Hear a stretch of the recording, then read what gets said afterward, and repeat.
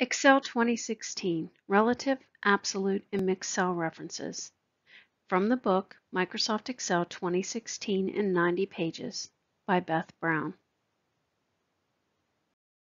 In this video, you will learn how relative, absolute, and mixed cell references behave when copied to another cell, how to use the F4 key to easily convert between reference types when creating a formula.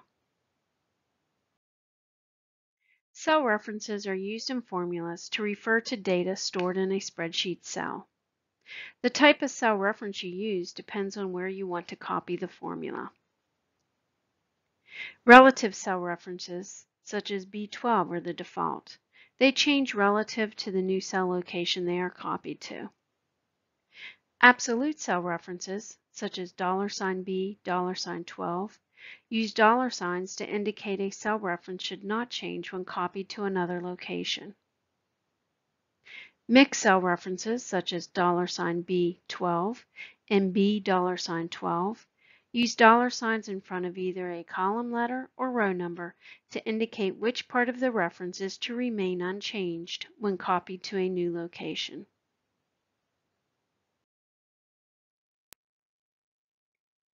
In this spreadsheet, I will demonstrate the various cell reference types. I want to create a formula to calculate the taxes on the menu items. To do this, I enter a formula in cell C4 to multiply the price times the tax rate. To copy this formula to the other cells in this column, I use the fill handle.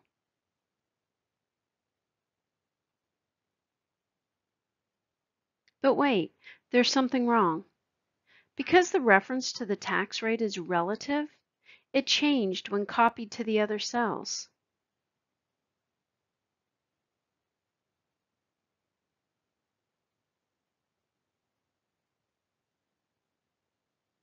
Let's delete the formulas and create a new one that uses an absolute cell reference that won't change when copied.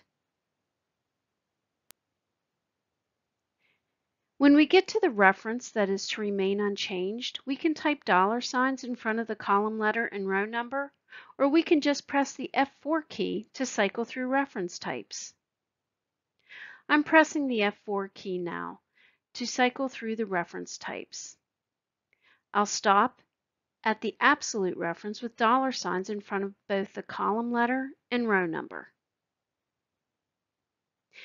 Now let's use the fill down handle to copy the formula to the remaining cells in the column.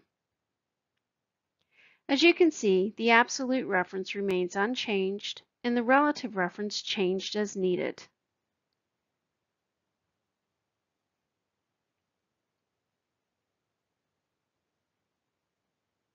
Next, let's total the price and tax amounts. The formula for the first item is B4 plus C4.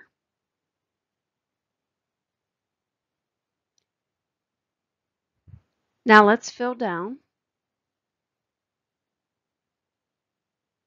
As you can see, the relative referencing changed to refer to the appropriate item, calculating individual totals. To demonstrate mixed cell references, I'm going to complete a table that calculates prices for up to five orders of an item. The formula needs to multiply the total by the number of orders. The first reference should always refer to column D. Let's use the F4 key to get to the correct reference.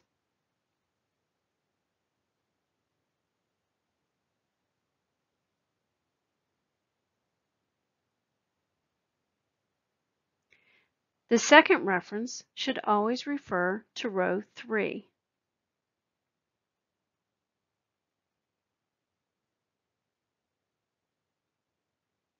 Now, let's fill across. As you can see, the mixed cell references allow the formula to correctly calculate.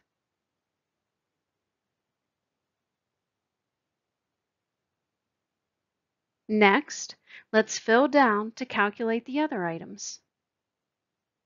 Mixed references allow the same formula to be copied across columns and down rows without error.